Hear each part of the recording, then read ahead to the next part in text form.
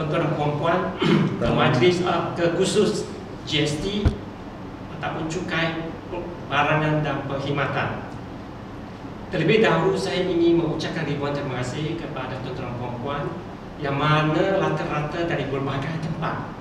Ya, saya tahu uh, ramai pengurus kewangan pentadbiran perancangan kontrak dan pembelian ya.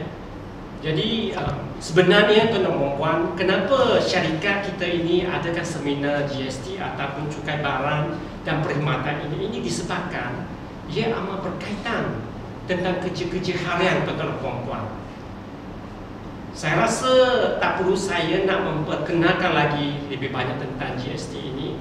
Ini disebabkan kerajaan akan mengimplementasikan nak implementkan dia dalam bulan April ini. Melaksanakan dia dalam bulan April ini dan ramai yang sudah bertanya-tanya, ada yang menanyakan saya, adakah cukai barang dan perkhidmatan itu diadakan? Kos barang akan dinaikkan berapa akan dinaikkan? Ada pula suara-suara yang memberitahu saya. Katanya kerajaan mengatakan sekiranya cukai itu dilaksanakan harga barang pula akan menurun jadi di mana kebenarnya dan di mana yang betulnya itu memang satu persoalan yang harus ditanyakan jadi ada juga menanyakan cukai tax input tax dan output tax dan sebagainya. Berapa banyak barangan bahan mentah yang ada yang perlu diturunkan cukainya di bawah ke bahagian lain dan sebagainya.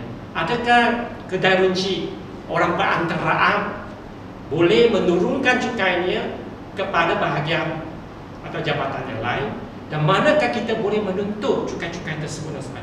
Banyak saya tahu, banyak beribu-ribu soalan yang sedang memainkan dalam otak tuan-tuan perempuan.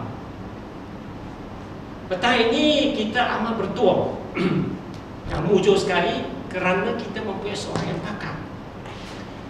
Beliau mempunyai 20 tahun pengalaman dalam percukaian dan beliau telah menerbitkan banyak buku.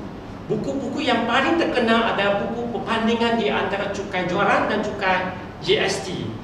Dan beliau juga merupakan ahli panel dalam melangkakan dasar-dasar GST untuk Malaysia dan beliau merupakan sekarang menjawab timbalan pengarah Jabatan Kasta Malaysia.